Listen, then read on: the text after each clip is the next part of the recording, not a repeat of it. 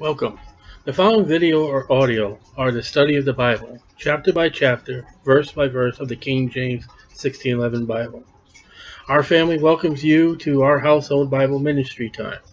You may watch and listen with us. Our goal has been from Genesis to the book of Revelation.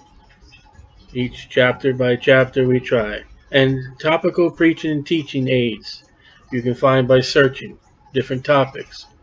Study to show thyself approved unto God, a workman that needeth not to be ashamed, rightly dividing the word of truth. Come and appreciate the word of God for our spiritual growth, our development in the word of God by these lessons. Please feel, feel please feel welcome to upload and share our Bible study with family and friends. Like us, subscribe, write a comment, let us know you heard the message. The video or audio are not copyrighted and should be used and not abused. Thank you.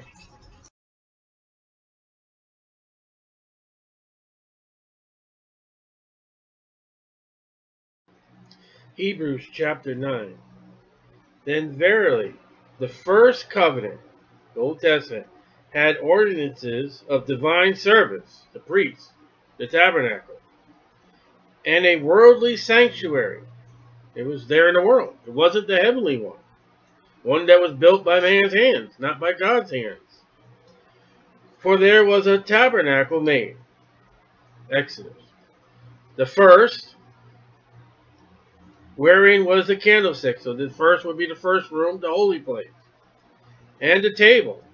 And the showbread, which is called the sanctuary. There's the holy place. Had the candlestick, the table, and on it the showbread. And after the second veil, going into the most holy place. This is the veil that Christ rent. The tabernacle, which is called the holiest of all, the most holy place. Now this is interesting, which had the golden censer. This is the this is the item that John the Baptist's father would go into the holy place and burn the incense of prayer and yet the Bible records that that censer was in the most holy place.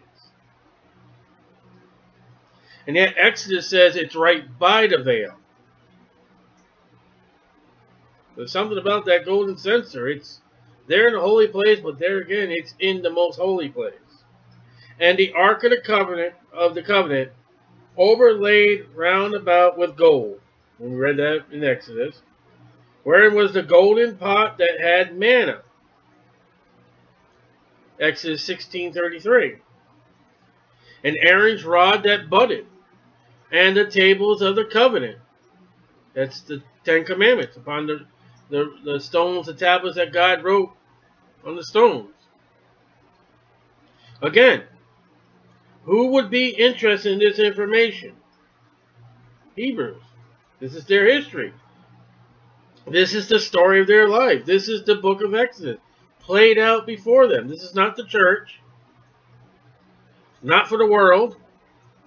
And over it, the cherubims of glory, shadowing the mercy seat. We read about that in Exodus, of which we cannot speak particularly.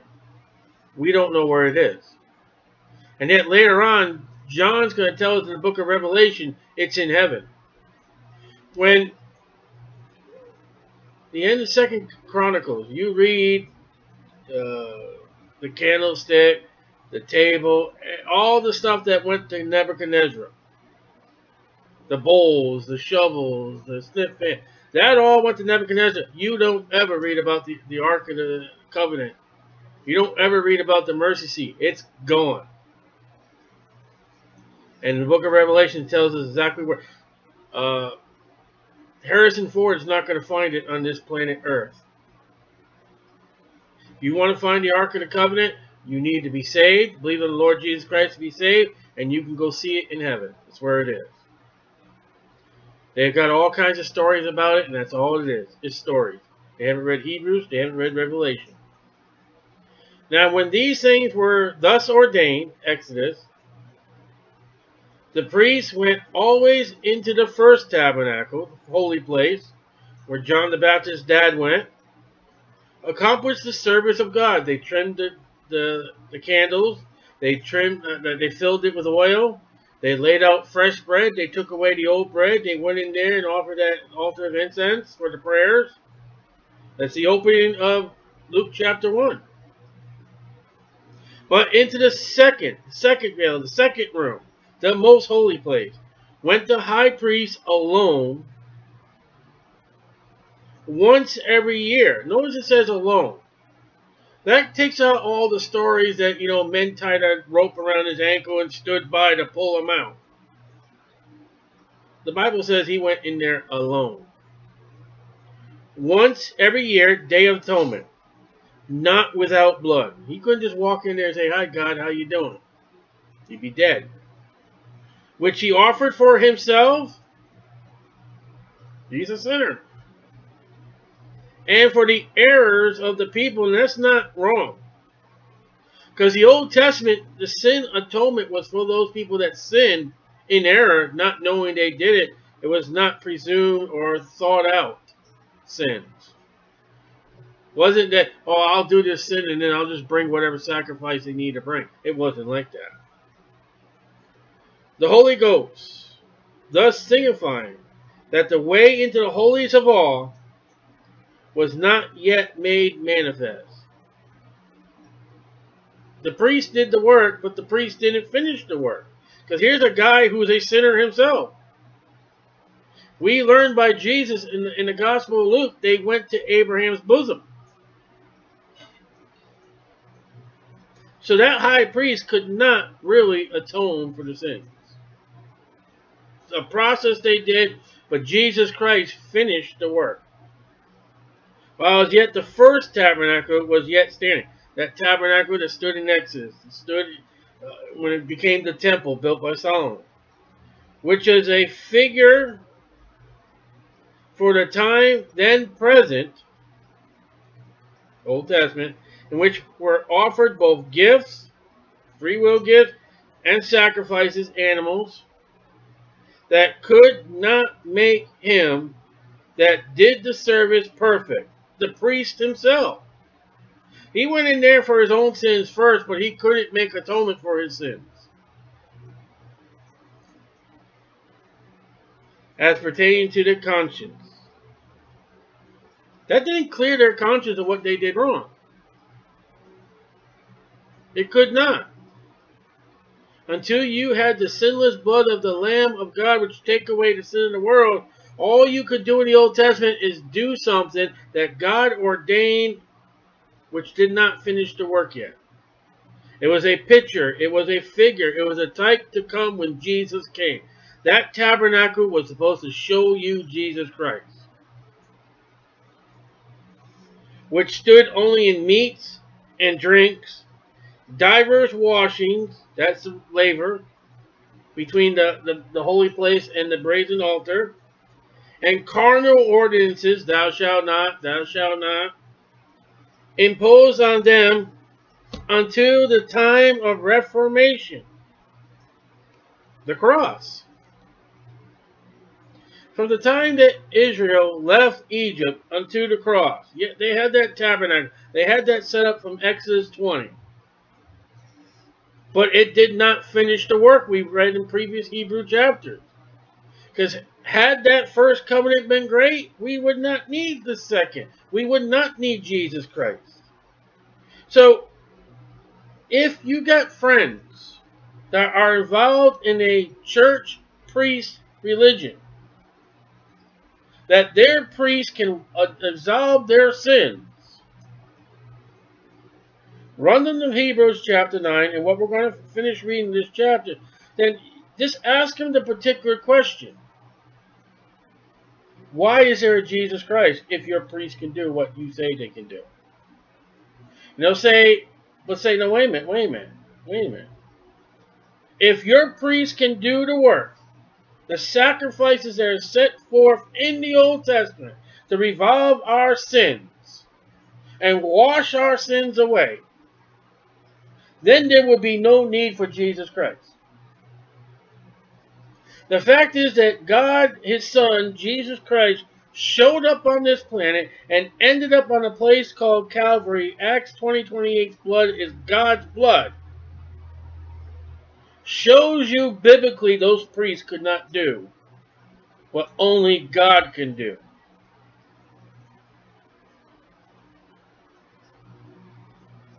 Yes, Jesus Christ died, but he died for our sins and is resurrected the third day according to the scriptures, and he will never die again. So there's something wrong with the Old Testament priesthood. What? They died. What? They're sinners. The wages of sin is death. Now, what we just read in Hebrews 9, if you've got an interested Jew listening, you now can run to Romans 6, 23 and say, look, the first part of this verse, the wages of sin is death. You can deal with it with, now with the New Testament. I, I, I know how you feel about Jesus, listen, let me show you this verse. Why do we die? Every Jew is going to know we die because, run them back to Genesis chapter 3, because we disobey God, which is what? It's a sin. All right. Now you can run into Romans chapter 3, another thing, which you can now find in the Old Testament. If you, you've got to mark your Bible, you got to know your scriptures. For there is none that sinneth. I mean, for all have sinned, come short of the glory of God. That's found in the Old Testament. I believe that's uh, Ecclesiastes. I believe David said something like that. Now you now you got their interest. If you got them this far, you can run to some New Testament passages which are found in the Old Testament, and you can bring them to this side of Calvary. You know what's wrong with your priest? They're sinners. See the high priest? He had to do it for himself. Well, how can he resolve your sin if he himself is a sinner? Your high priest, the priest, they died. What, what good are they? Did any of those priests die for the people? No. Third question for a Jewish person, Hebrew. What good are your priests doing for you today, 2017? They don't even know who the priests are. The priests ain't doing nothing. So according to your first covenant, according to what God has set forth for you by the law, How many times have you gone to Jerusalem this year? None? Well, that's what the law said. When was the last time the high priest went into the most holy place with the blood prescribed for himself and then for the sins of the people, the error? Well, he hasn't because there is no temple. There is no priest right now. It's doing you a lot of good, isn't it? That opens up now for the New Testament. So what was wrong with the priests? They died and they were sinners. And they died because they were sinners. That's wrong with them. And Israel obeyed and they didn't obey and they left that temple. They just they carved the gold off the doors of the temple. They went after other gods. They had Catholic churches on every corner of, of Jerusalem. I mean, altars, sorry.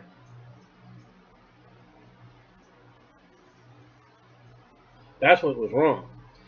All right, so with all that, now let's pick up where we were, Hebrews 9.11. But Christ, being come and high priest. So see, we've been showing you Jesus Christ by the high priest. And you see Satan tooting his own horn. Of good things to come. From the past. Good things to come. By a greater and more perfect tabernacle. That which we read is in heaven. When Moses was shown by God, and the Hebrews have to read that because it's in the Old Testament that that pattern that God showed Moses was a pattern that was found in heaven. You, a Hebrew can't say, "Oh, that's that's New Testament." No, no. Because what was that pattern God gave Moses? It's in heaven. A more perfect tabernacle not made with hands. Well, see. Now, with that verse right there, you can rule Herod's temple. You can rule out Solomon's temple. You can read out that, that you can rule out that tabernacle made by Moses. They were all made by hands. That is to say, not of this building. 64 AD. That building is still there. The writer of Hebrews is saying, see that temple there? You see it? It's made by hands. I ain't talking about that place. And you wait to see what these people are going to see what happens in six years if they're still living. The ones that the ones that are still living six years, seven years, eight years later. There is no temple. Neither by the blood of goats and calves, but by his own blood, run back to Acts 20, 28. He entered in once into the holy place, having obtained eternal redemption for us. So Christ went through the heavenly tabernacle, which no man can go through, with the blood that is greater than goats and calves. He did it once. Look at verse 7. But into the second went the high priest alone once every year, not without blood. Our high priest went in there with blood once, forever. For what reason? To obtain eternal redemption for us. Who's the us? Who is he speaking to? Hebrews. I know it's us, but we're talking about Hebrews. Fellow Jews, Jesus Christ, you know who he is. It's only been 30 years since you crucified, since he rose from the grave. It's only been 30 years. Not that long ago. Jesus Christ is much better than your high priest, which are better than the chief priests that crucified him. They were sinners, and yet that blood they bring in once a year can't satisfy God. But Jesus Christ sat down once, 33 thereabouts AD. Right around whatever, I don't know what the year is. But that one time that Jesus went and rent that veil into two, when he took his blood and put it upon the mercy seat, sat down right hand of the Father, that is one sacrifice for all. Now, when you got a priest class of, of a religion that says that you have to kill Jesus daily, weekly, in the Mass, or Easter, or for Christmas, violates the Scripture because it says once. And there are dedicated Catholics that do that every single day. A violation of the Scriptures. And we'll read more about that in Hebrews. For if the blood of bulls and of goats, and the ashes of if the ashes of a heifer sprinkling the clean. Now remember that that that that heifer was if they touched a dead body, if somebody became dead by them, if they went out to war and they were gathering spoil among the dead people, they had to wash themselves. They had to have been sprinkled with this heifer to be clean at even. And all that stuff, the goats, the ashes, to be clean, sanctify, sanctify to the purifying of the flesh outside. That was all done for the outside. How much more shall the blood of Christ, who through the eternal Spirit, will run that back to Acts 20, 28. There's Jesus, there's the Holy Spirit, and there's God, the Trinity's blood. Right there. The eternal Spirit is the Holy Spirit. There's his blood offered himself without spot. So what was the sacrifice called for? Especially the, the, the, the, Passover lamb every year you were to do it. You were to check that lamb, make sure it had no blemish. So when you study the, the Passover, study Jesus Christ. Because he was the Lamb of God which took away the sin of the world. He was the Lamb of God that died on the Passover. That lamb was to be without spot. That lamb in Exodus was to be examined a certain amount of days. Without looking back, you know that John spends considerable amount of chapters for the last week of Jesus Christ. He writes so much about that last week. Why? Because he's examined the Lamb of God. He is showing in those chapters the Lamb of God, which is sinless, which is pure, which is dedicated. There was no spot in him. Then they crucified him. Herod said, I find no fault in him. The people that came to the Sanhedrin couldn't even come up with a lie that went for the lies about Jesus. Now watch this. Purge your conscience. Go back to verse 9. Which was a figure for the time then present in which we offered both gifts and sacrifice that could not make him that did the service perfect as pertains to the conscience. Now let me tell you something what the blood of Jesus Christ does. 1 John 1 and 9, He is able and just to forgive us our sin. So the fact is, when we confess our sins, not under bloods and blood of goats and bulls, but under the blood of Jesus Christ, it is not only gone, but get it out of your conscience. If you have put that sin under the blood and Satan comes up, well, what about this? Hey, it's under the blood, it's clean, and the Bible is correct, and I know it is. I'm not even to think about it. How's that? You know what that Old Testament guy did when he went to the temple and that high priest went in there once a year and offered that blood? That guy still had the guilt. Did it really work? Did that did that high priest really go into the Holy of Holies or did he just stop off and have a piece of bread? Did you really know? Could you see it? How many people testified that that high priest actually went to the mercy seat? Zero. He went in alone, didn't he? And yet, with the respect of 12 people, followed Jesus Christ from his very ministry.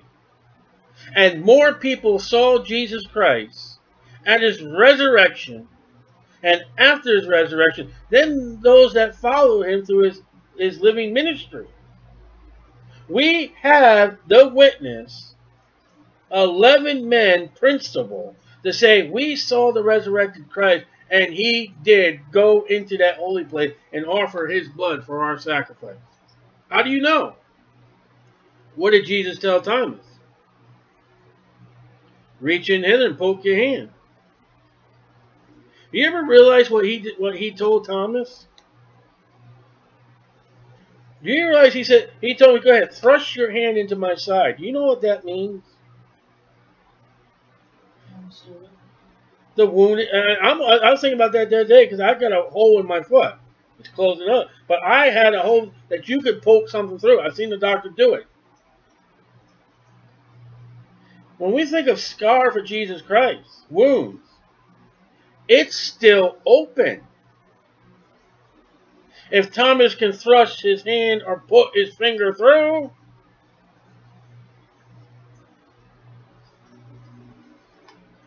Well, what about Jesus Christ going into the most holy place? Forget about the most holy place. He is seated at the right hand of the Father right now. How's that? He is not gone into the mercy seat. He is seated right on the mercy seat with the Father. Now, how's that? You can't get a high priest there. Listen, Nadab Abihu and the, uh, went into the holy place, struck a match or a big lighter or something, and pff, they were going.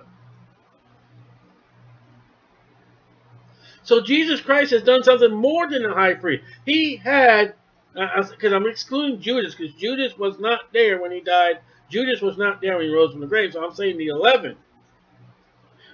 Jesus has the testimony of 11 where the only high priest, you know, he could have stopped off and had some bread and say, okay, it's done. He could have. No one was ever sure what the high priest when he did in there. No one knew what he thought of. He probably went into that most holy place trenching in his boot, scared, sweating, and he couldn't sweat. He had to have he had to have the, the an outfit that would not cause sweat.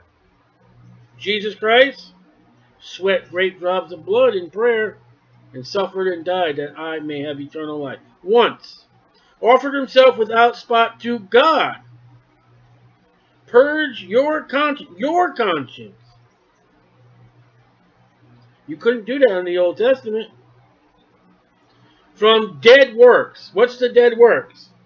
Blood of bulls, goats, ashes of the heifer, to be unclean, sanctified by purifying of the flesh. That was unclean. Dead works.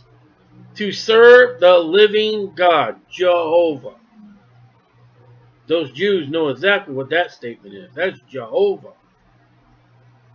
You say, well, so you keep saying Jehovah, Jehovah, Jehovah. Yeah, because I'm talking about the Hebrews. I'm talking about the Hebrews coming out of the Old Testament. I'm talking about the writers writing to a bunch of Jews who know the Old Testament. And they're trying to bring, the, the subject is trying to bring the Old Testament to the Hebrews in 64 AD, around that date, trying to show them Jesus Christ, trying to show them it is better for a Christian than it was for a Jew in the Old Testament. That's the reason of Hebrews. He is writing a book telling us how he's witnessing the Jews.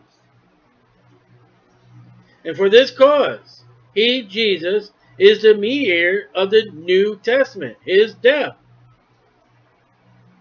His death brought the testament that by means of death, for the redemption of the transgressions that were under the first testament. So Christ, when he died and suffered and bled, was able to take the, the new the Old Testament saints out of Abraham's bosom. Because the bulls and goats couldn't do it. They could only do something to show their faith to God, but that couldn't finish the work. The one that finished the work is the great high priest, the Lord Jesus Christ. And for this cause, he, Jesus, is the mediator of the New Testament, that by means of death, Calvary, for the redemption of the transgressions that were under the first testament, Old Testament, they which are called might receive the promise of eternal inheritance. David, Solomon, and all them. Abraham, Isaac, Jacob. Four. Where a testament is, now we're going to explain death. There must also of necessity be the death of a testator. Now, you've all seen the, the, the, program on the television. The guy dies, and they're all in the lawyer's office and they're about to read, read the will. Well, you're not going to open that will if the guy had not died. For a testament is of force after men are dead. Now, let me tell you something. When you open up to before Matthew in your Bible, and it says New Testament, in reality, it's wrong. I'm going to tell you when the New Testament begins. Matthew 27, 50. Mark 15, 37. Luke 23, 46. John 19, 30. Those verses I gave you out of the four Gospels state the fact that Jesus gave up the ghost. When he gave up the ghost, there's the New Testament. Before that, they were still under the Old Testament. What did he tell them? Go back. He healed the guy with leprosy. Go back and show the priest.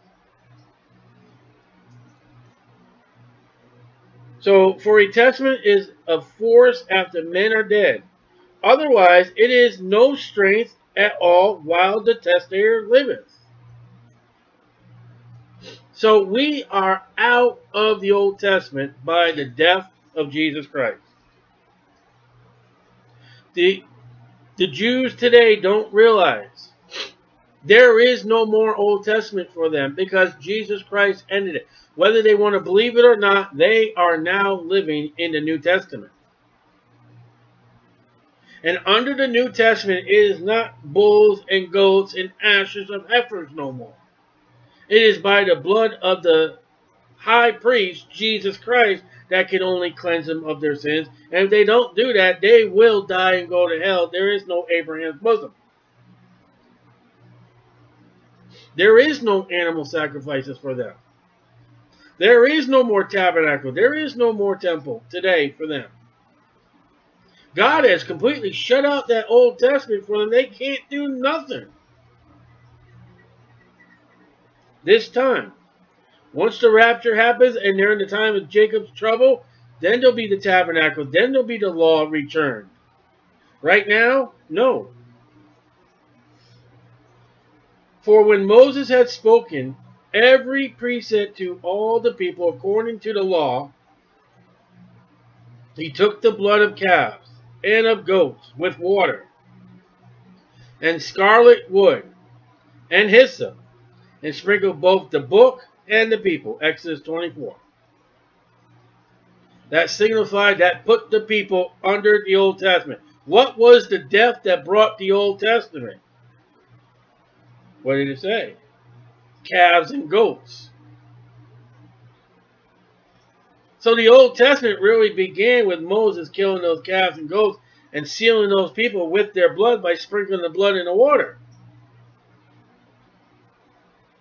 You get what verse 19 has already happened in, in John? What happened when Jesus died on that cross and they took him off? What came out? The blood in the water. There you go. Now that doesn't leave you to another avenue for this for this person that witnessed to the Jews. When they pierced that side, out came blood, blood and water. But here, 19, this established, this is the date, Exodus 24 of the Old Testament. Because there was a death of an animal. Well, the New Testament, Matthew 27, 50, Mark 15, 37, Luke 23, 46, John 19, 30, there was a death. The Lamb of God would take away the sin of the world. So there's two trivia questions you want to ask. When did each testament begin? What causes a testament to begin? Death. Saying, This is the blood of the testament which God has enjoined unto you, calves and goats. It's quite interesting that Moses did this, and when Moses was up in the mountain the first time, what was that golden image that Aaron made? A calf. What is the image that is brought to you by a chicken outlet that is worshipped in churches today? You know, eat more chicken. Calves. Cows. That brought the Old Testament. And it wasn't worshiping the cow or the goat. It was to see further when the Lamb of God that comes. And John the Baptist proclaimed when the ministry of Jesus was just, just about to begin. John's proclamation was, there is the Lamb of God. There he is. Cows and the goats and all that is done. He's got three and a half more years, and when he dies, that's it. That blood. That's slain. Moreover, he sprinkled the blood both the tabernacle that was built and all the vessels of the ministry, the brazen altar, the spoons, everything. They were all put under the blood. But this was for the heirs of the people.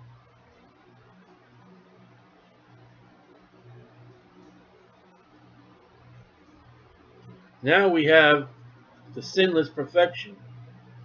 Those animals, even though how good you looked at those animals, they could have been scarred, they could have been, but not Jesus Christ.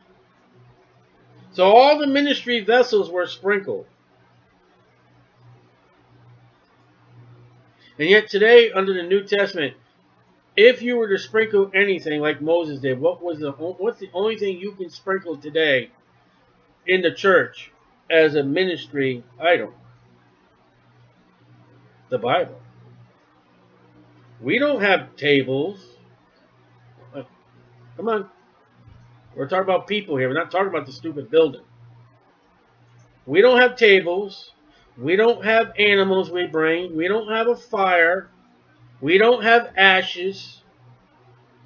The only thing we, we have is the Word of God. And the words of Christ are in red. The Geneva Bible was called the Martyr's Bible because the Geneva's Bible is when many Christians were killed for their belief in the Word of God. The Bible that we hold in our hands, the King James Bible, has been sealed by blood. The blood of Jesus Christ and the blood of faithful people who loved it and read it and followed the cleansing, the sevenfold cleansing of the King James Bible. Jesus said, Heaven and earth will pass away, but my word shall never pass away. There's nothing in the church today physical. Nothing at all.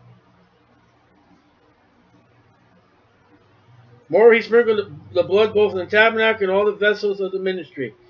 And almost all things are by the law purged with blood, almost. And without shedding of blood is no remission. So why couldn't Jesus come and sprinkle everybody with a fire hydrant? You have to have blood.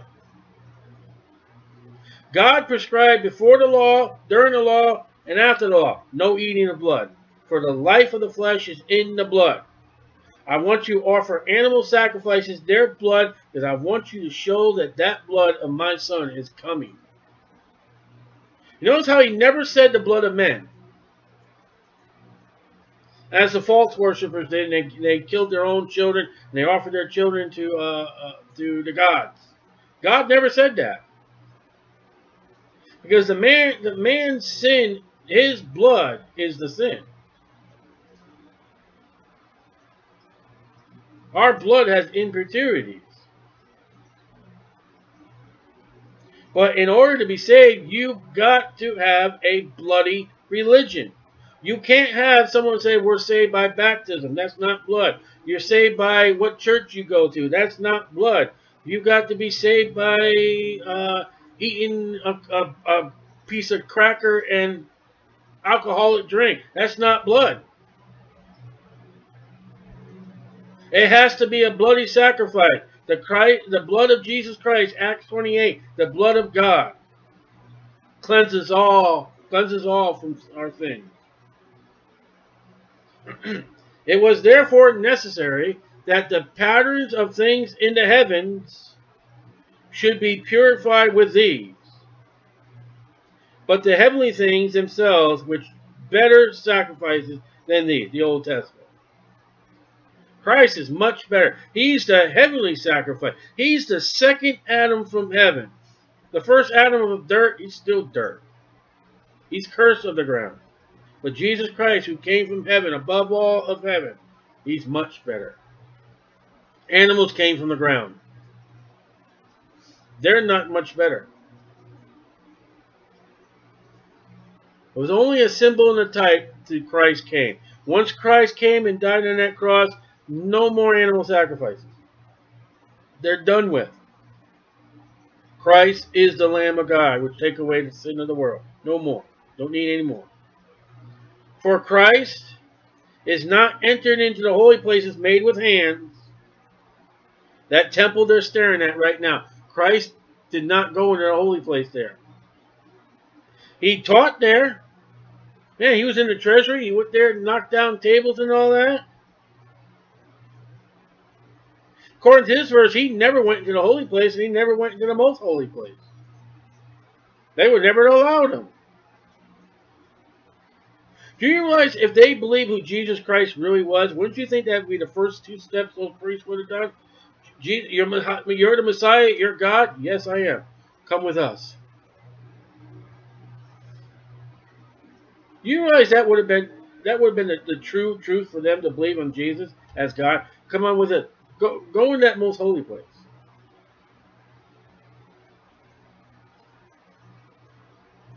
For there for Christ is not entered the holy place made with hands, which are the figure of the true. Remember, Moses got the blueprints, he got the patterns from God. Either he saw what was in heaven or God showed him somehow what the pattern in heaven was but into heaven itself, Acts chapter 1. Now to appear in the presence of God for us. There he is. He is seated at the right hand of God right now in the heavenly tabernacle, in the most holiest of the holiest of the holiest. Which according to the scriptures, as a child of God, I am too.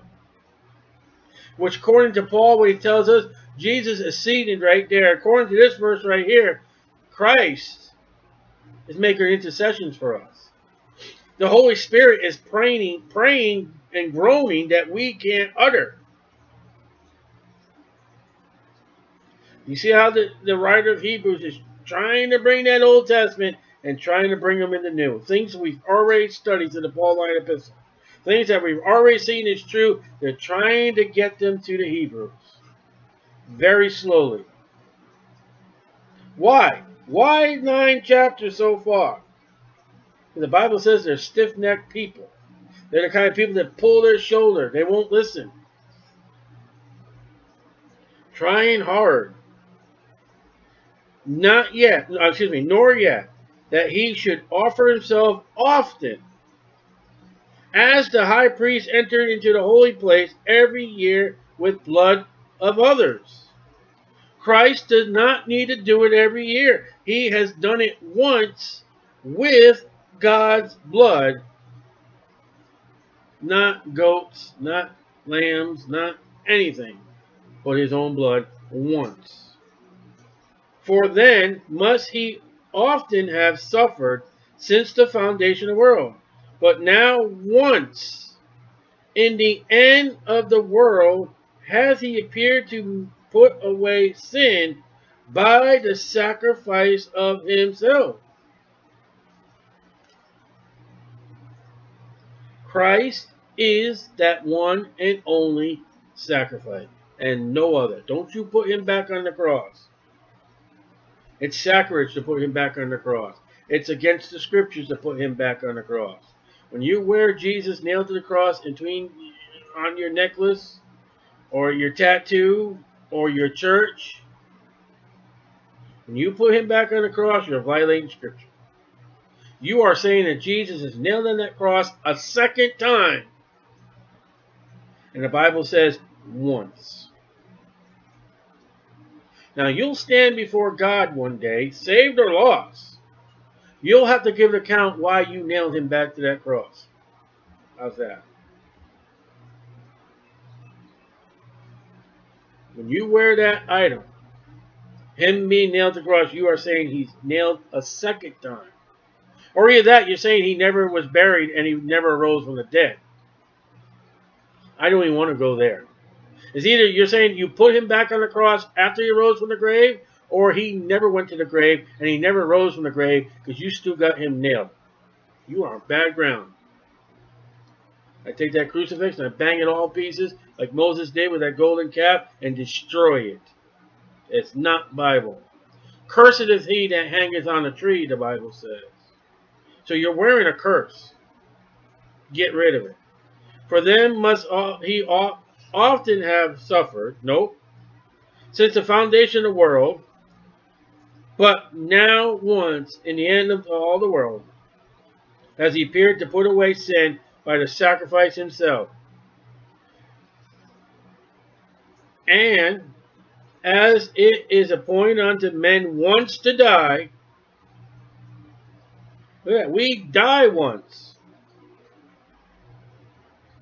But after this, the judgment.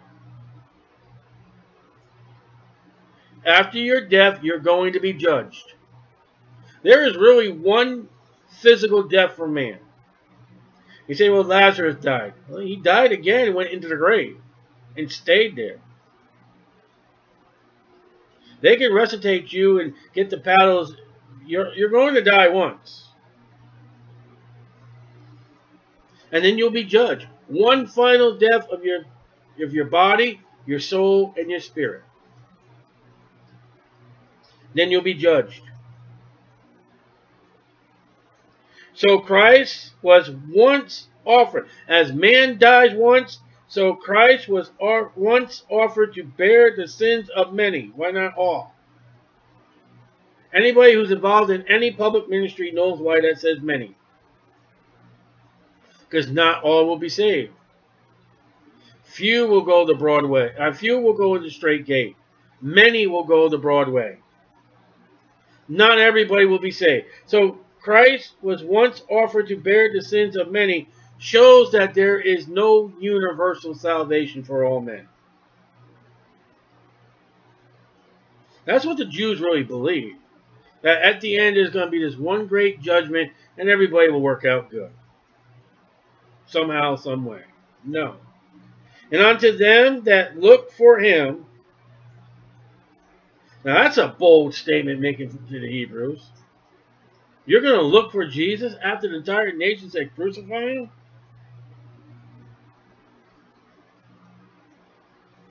At what point in time are the Jews going to be looking for Jesus? Remember, the book is Hebrews. We're not talking about Christians. Hebrews, what time are they going to be looking for Jesus? The second advent.